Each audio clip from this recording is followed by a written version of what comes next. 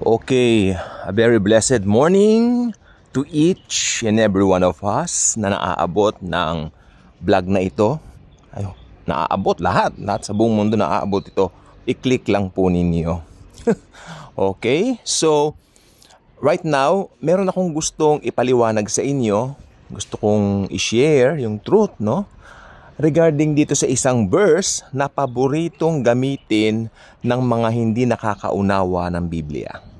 Yeah, paborito nila ito. They love it. They love it. Ano ito? Ito yung kung sino man ang gustong sumunod sa akin. Sabi ng Panginoon, di ba? Ito yung ginagamit nila. Kung sino man ang ibig sumunod sa akin, kalimutan niya ang kanyang sarili at buhatin ang kanyang cross. Mm-hmm. Yes, ayan. If anyone wish to follow me, let them forsake themselves and carry their cross. So, ano nga po ba ang konteksto nito? Balikan po natin ang Panginoong Heso Kristo nung siya po ay naririto 33 years po siyang nandito sa lupa. He created the universe and yet pumunta siya dito sa world para iligtas ang buong mundo sa kasalanan. At napaliwanag ko na rin po sa inyo, meron po tayong rightly dividing the scriptures. Hindi yung common na basa mo, ia-apply mo agad sa'yo. 'Di ba? Meron po yung context.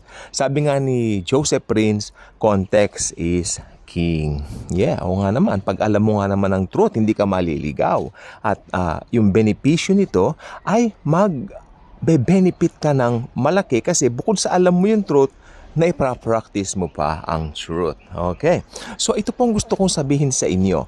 Yung pong verse na yon, ito po ay tumutukoy sa discipleship. Yes, hindi po salvation. Ne? Sa discipleship, o let me explain this, makinig po tayong mabuti, ano?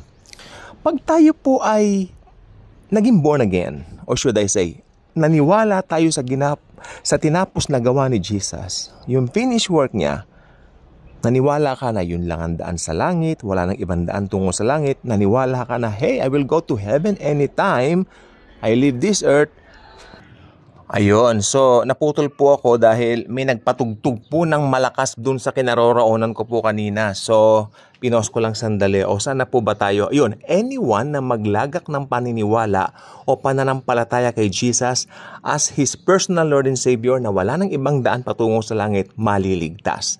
So, yung iba kasi sabi nila, if anyone to wish, sabi niya, if anyone uh, wish to follow me, itong ginagamit nila, they have to forsake themselves pa and carry their cross. So iba yung pakahulugan nila dito sa verse na ito. For them, kailangan mahirapan ka, kailangan magdusa ka. Ganun po. Which is wrong. Okay. Doon po sa view ng salvation, niligtas po tayo sa kasalanan, di ba? Tapos, uh, bukod sa pinatawad tayo, pinagaling ang mga karamdaman natin, blines tayo, Material things po yan ha. Bukod sa health, bless din tayo ng material things at pinagkalooban tayo ng masaganang pamumuhay. Yan po ang pangako niya sa John 10.10. 'Di ba? So taliwas doon sa gawa ni Satanas, ne? So, gusto ko malaman po, gusto ko pong sabihin po sa inyo na malaman ninyo na yung verse na sinasabi nila ay tungkol po sa discipleship. Once na na-born again ka, tumanggap kay Jesus as Lord and Savior mo, you believe in His finished work alone on the cross, ikaw ngayon ay born again. Okay?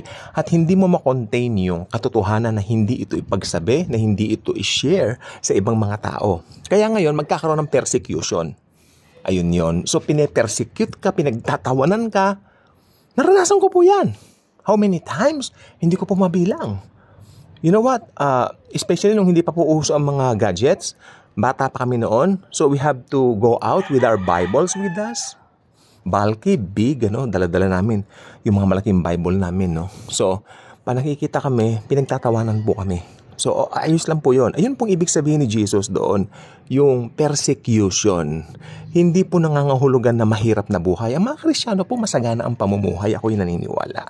Ang mga Krisyano po kahit anong danasin nila sa buhay, i-get through sila ng Panginoong Jesus. Dahil ito po ay part ng kanilang mga inheritance benefits. Basahin po ninyo ang Psalm 103 verses 2 to 5. Again, ulitin ko, mga awit 103 verses 2 to 5. Kayo na lang po por pabor ang bumasa dahil yes, hindi naman po yun ang topic natin. Pero Yun po ang mga benepisyo natin sa krus ng Panginoong Heso Kristo. So gusto ko po uling linawin, hindi po ako, wala po akong balak gumawa ng mahabang vlog ngayon, busy po ako. Ang gusto ko pong sabihin sa inyo, ah, uh, yung verse na sinasabi nilang buhati ng cross, ito po ay sa discipleship. Ito po ay never mo dapat i-apply sa salvation. At saka dun sa mga benefits mo. Pag sinave ka ni Jesus, papalo na po lahat doon ang blessings mo. Masaganang buhay, masaganang pagpapala mula sa Panginoong Heso Kristo. Kaya kung hindi ka pa subscriber sa channel na ito, invite you to do so. Click the notification bell, share this video, share the wonderful love of the Savior, the Lord Jesus Christ. Thanks, and Jesus truly loves us all.